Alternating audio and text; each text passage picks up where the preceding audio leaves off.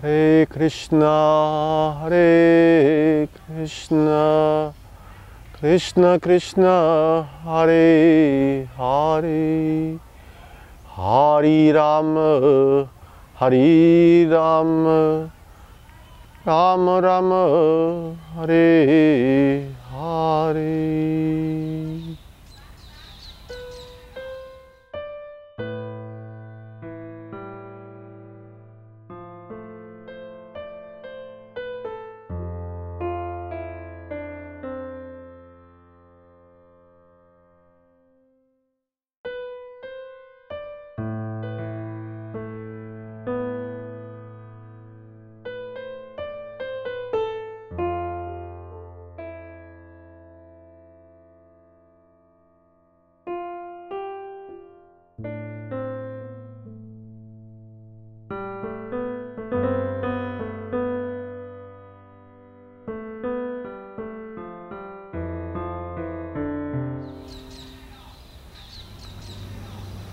Interesse pela fotografia é, começou quando a minha mãe me deu a minha primeira câmera, uma Kodak Stamatic. Acho que foi um dos brinquedos mais legais que eu ganhei, devia ter uns 7, 8 anos.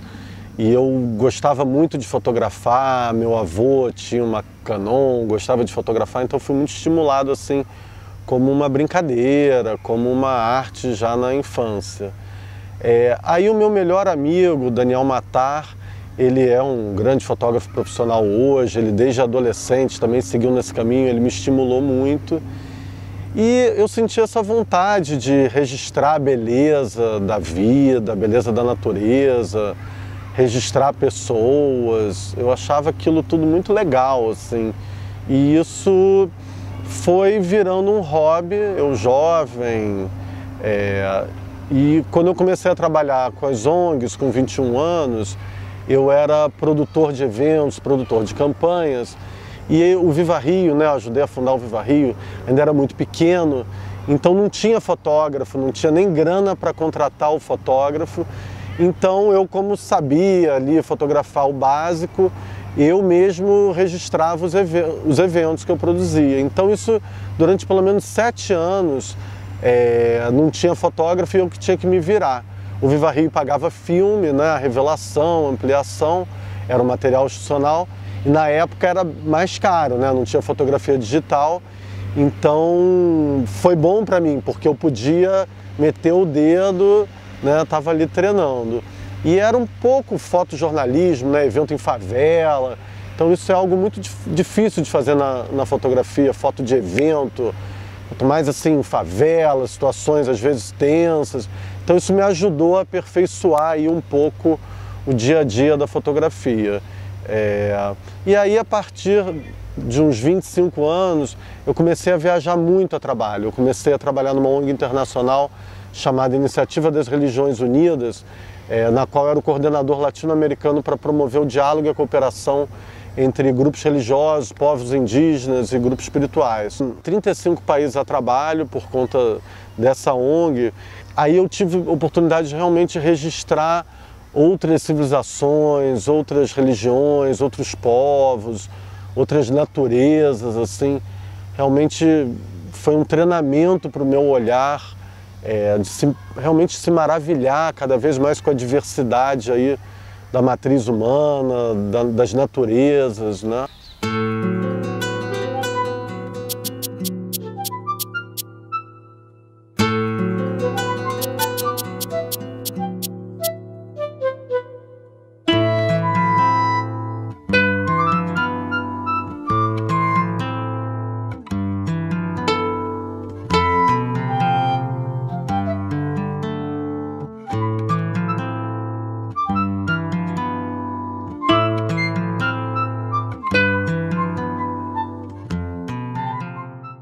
Apesar da fotografia ser principalmente um meio de se aproximar da realidade, tento com ela levar o observador a uma breve experiência de ruptura com o real, transportando sua consciência para uma outra dimensão de tempo e espaço, onde elementos universais podem ser acessados.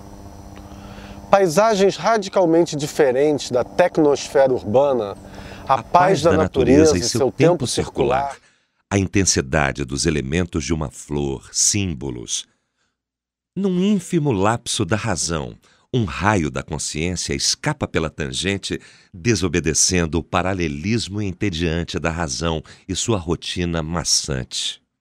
Uma liberdade instantânea, prazerosa, acontece. O observador, seus olhos e a imagem se fundem, o resto derreteu.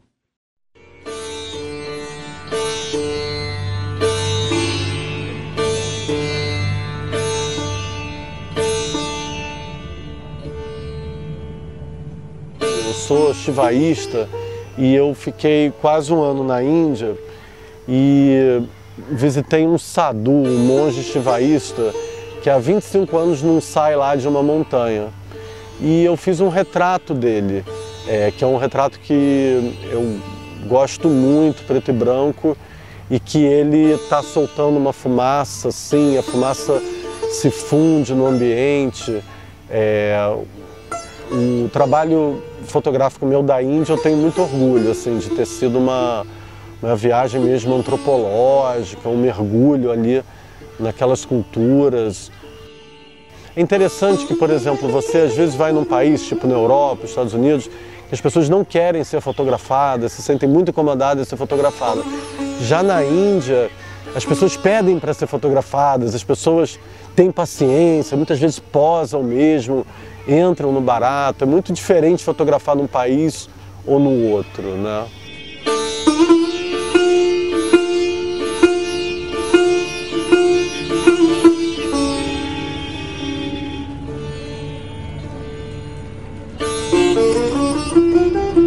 Você pode observar-se vendo a imagem. A foto é só uma janela para você se encontrar consigo mesmo. Ao serem congeladas, as imagens podem capturar a essência da tessitura da qual é construído todo o universo, a começar por você.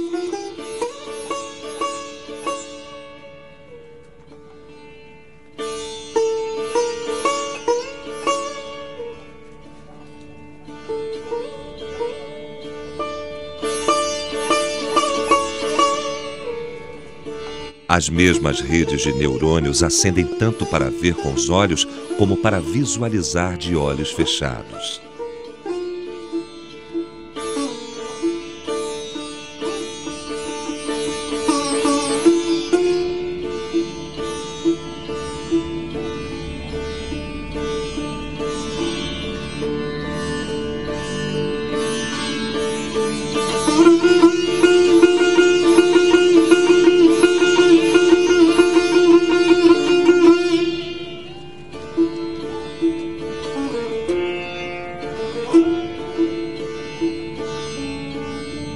Você é um criador de imagens e janelas pelas quais atravessa a sua passagem pela Terra. Você pode ver além e sua consciência se move com seu olhar, iluminando seu caminho.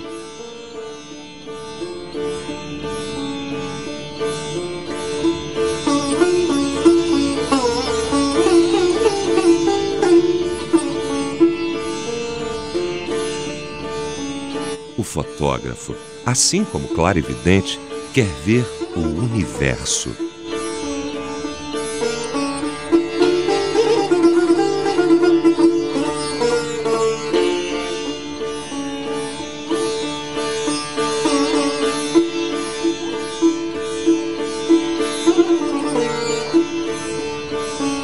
Se aventurar nas entranhas da realidade. O clique passa a ser uma tentativa de refletir um milagre da criação, a beleza harmônica do fluir e fruir da vida. Como se fosse possível encaixotar o vento. Dá vazão temporária a uma vontade de driblar essa miopia demasiado humana, de não conseguir focar a visão muito além de suas projeções e padrões socioculturais da época.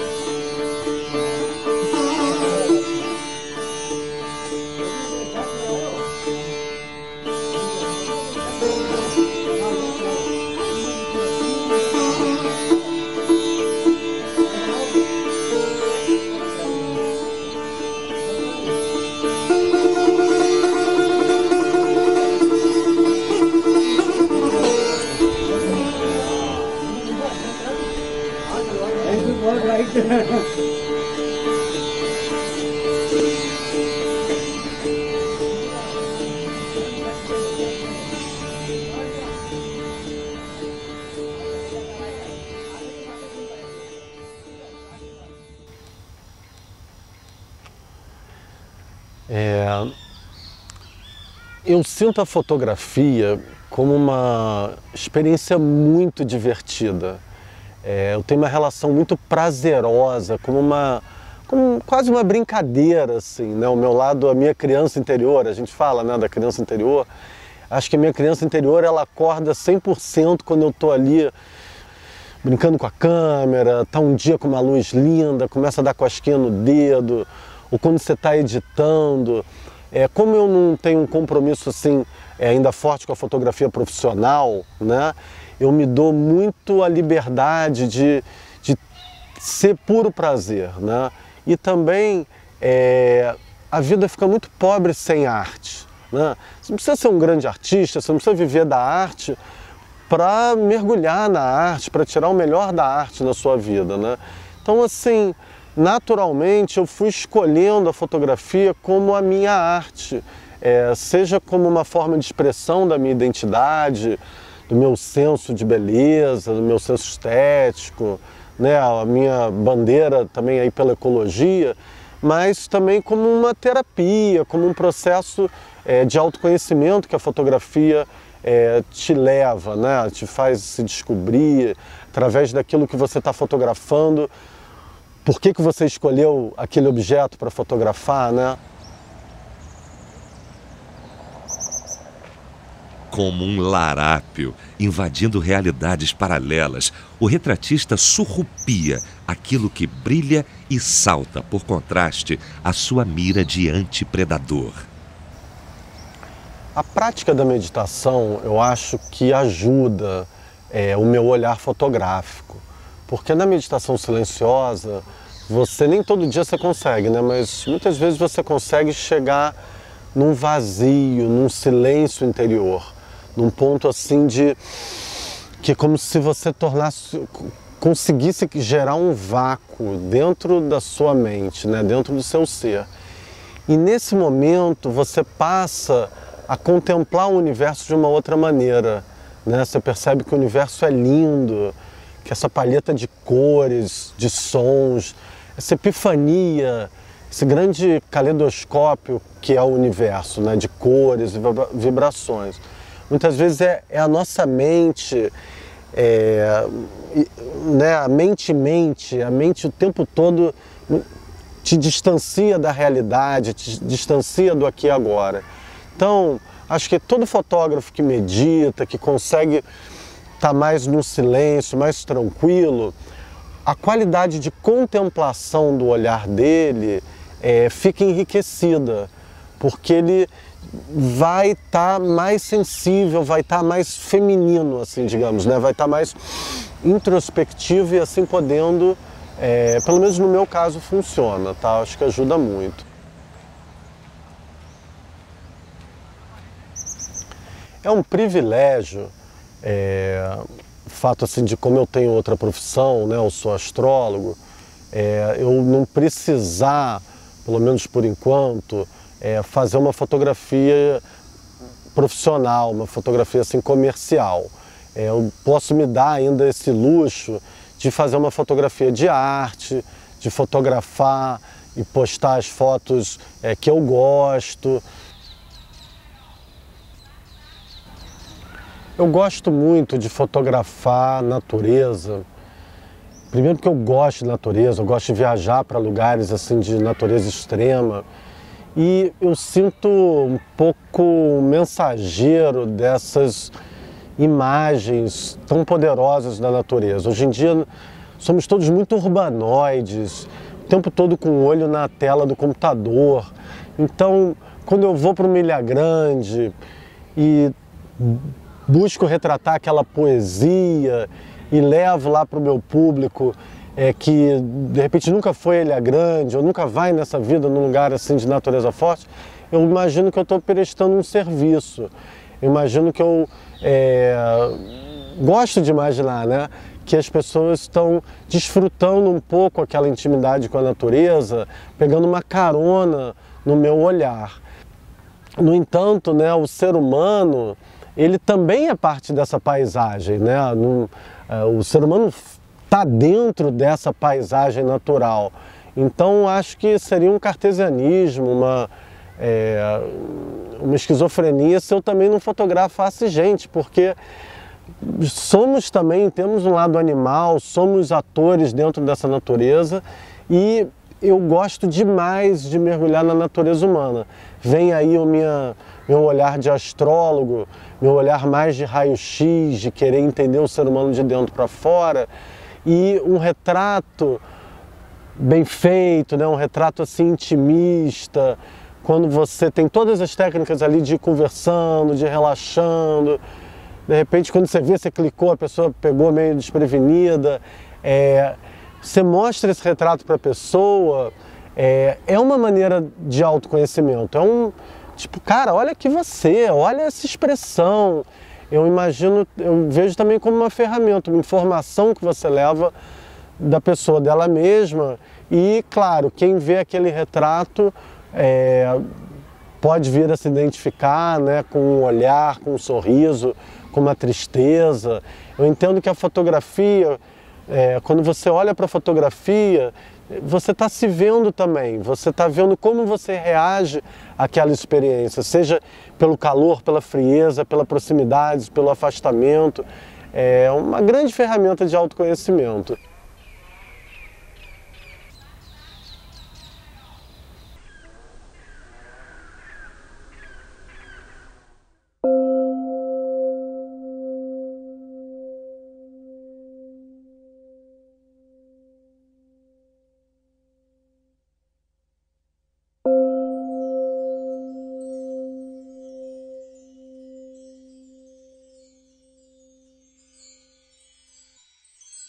Thank.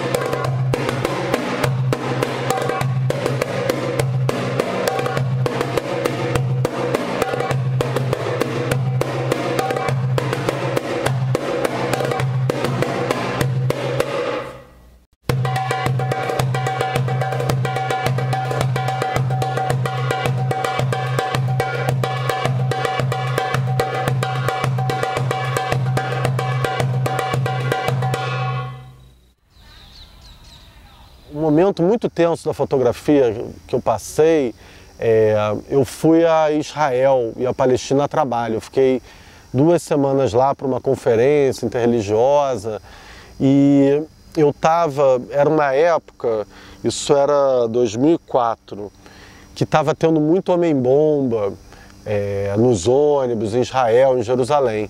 E, tipo, três dias antes de eu chegar lá, tinha tido é, um homem-bomba, matado sete pessoas num ônibus. E era a época que estavam construindo o muro, aquele muro entre a Palestina e Israel, né? E aí eu fui fotografar um muro, uma temática aí, né? Exclusão, colônia, no século XXI e tal. E esse ônibus que tinha explodido dois anos de antes de eu chegar, tinham colocado do lado do muro. Tipo, tá vendo? Por que, que a gente faz esse muro? Estão criticando a gente pelo do muro? Tá aqui a prova que a gente precisa do muro. E eu cheguei perto do ônibus, não tinha ninguém, entrei no ônibus. Quando eu entrei, 200 metros atrás, uns três, quatro soldados israelenses, não pode entrar aí, como é que você entrou aí? Eu, tipo, fui pro chão, assim, porque lá é muito violento. Eu fiquei ajoelhado tal desculpa, tal, foi tranquilo. Quer dizer, não foi tranquilo, mas assim, resolveu. Eles achavam que eu era imprensa, enfim. Aí é, não pude, quer dizer, eu até tenho essas fotos, porque eu fotografei antes deles chegarem. Mas aí depois saindo dali, eu fotografei uma foto que eu gostaria de mostrar, que é um jovem palestino de costas, assim, ele meio moral baixa, e aquele muro gigante de 8 metros, ele ali pequenininho, é, e aquela opressão mesmo, entendeu? E, mas foi difícil fotografar ali a Palestina, foi, foi muito difícil para mim ver aquilo tudo. E essa foto depois que eu fui ver, porque tem umas fotos que você só depois que vê o que, que tá ali, né? E aí tava pichado no muro. É, faça amor, não faça muros. Né? Em vez de faça amor, não faça guerra, faça amor, não faça muros. Enfim, é um detalhe, eu gosto muito dessa foto. E aí eu botei um preto e branco porque é dramático. Uma viagem que eu fiz muito interessante foi passar três meses acampando no Alasca, no verão. E acho que não precisa dizer, né? Um lugar assim de uma natureza extrema, exuberante. E eu fiquei muito impressionado com os azuis. Você entra dentro das geleiras e vê uns azuis que você nunca viu antes, né? Aquela palheta de azuis e, e o sol entra por trás do gelo. É a festa do azul. É, tem fotos incríveis. Eu me lembro para fazer elas, é, você tem uma plaquinha assim na frente da geleira, porque isso é no verão, né? Então a geleira está derretendo. Aí na plaquinha está escrito assim: Falling ice may kill gelo derretendo pode matar, ou seja, você vai por sua própria conta. Tem uma foto que eu gosto muito, que eu tirei ela no monastério de uns mais de dois mil anos, ali na fronteira entre a Índia e o Tibete, que é o Buda na posição de Mahamudra. É uma foto que, em primeiro momento, a maioria das pessoas não percebem que tem uma mulher ali com o Buda. Na verdade, eles estão numa posição de sexo tântrico, né? E ela representa a busca do equilíbrio entre o masculino e o feminino, né? entre o espírito e a alma, ou entre o corpo e o espírito. Né? Ela fala dessa comunhão de ser um só ser. Mas ela tem um erotismo assim impressionante. No entanto, ali o sagrado e o profano, o sagrado e o erótico se fazem um é, sem menor resistência.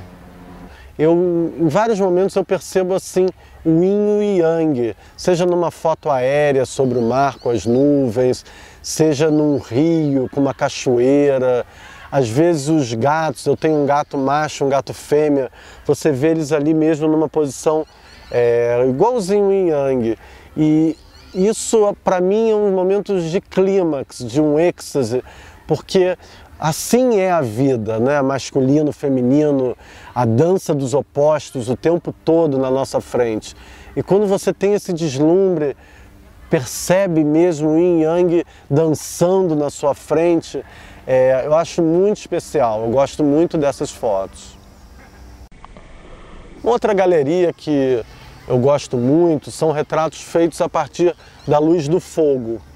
Né? O fogo, ele, né, seja vela, seja um fogo que eu faço ali num, num cachepô de ferro, ele para mim puxa é, o espírito da pessoa, ele como nenhuma outra luz. Né? Eu não sou fotógrafo de estúdio, eu saco praticamente nada de fotografia de estúdio, mas eu tenho essa fotografia, como eu falei, mais contemplativa, de não interferência.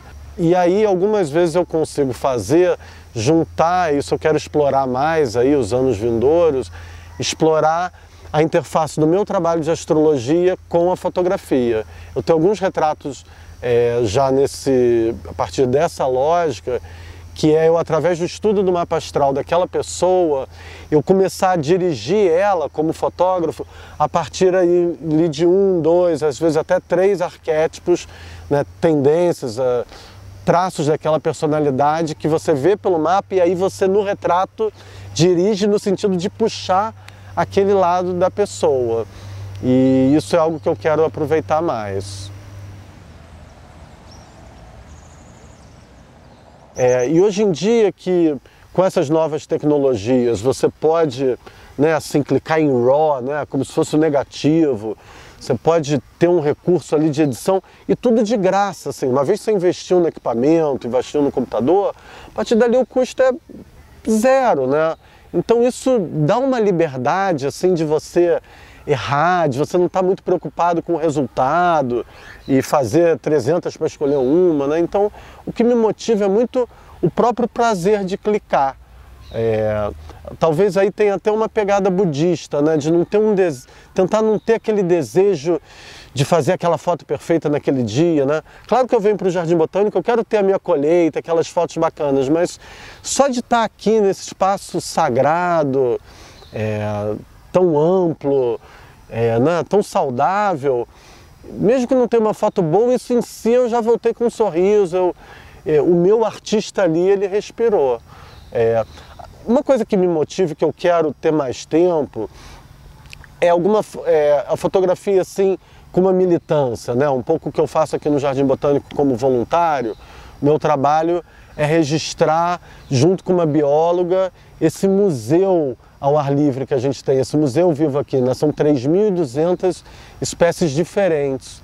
Então eu ajudo cientificamente a catalogar é, a árvore inteira, a folha, a flor, para que biólogos de qualquer parte do mundo possam também estudar essa espécie. Então é uma foto que de alguma forma está ajudando aí o patrimônio verde.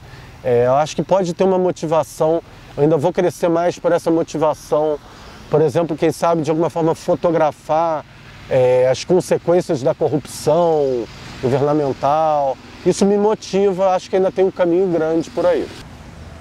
Justo aquele desenquadrar que contorce as linhas já pelos olhos domesticadas, apontando para certa disfarçada poesia latente feita em forma e cor, onde o novo se revela e atiça os nervos óticos que então podem se regozijar, descortinando aquilo que sempre souberam. André Porto